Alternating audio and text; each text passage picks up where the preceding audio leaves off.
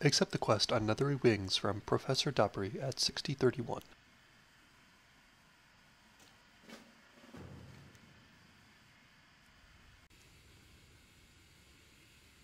Click on the Protectorate Netherdrake next to Dabiri and select I'm ready to fly.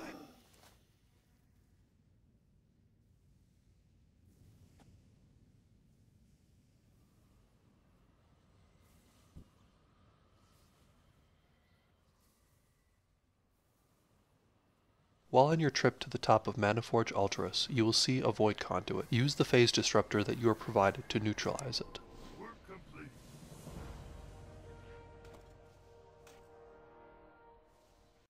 Your Netherdrake will return you to Protectorate Watchpost.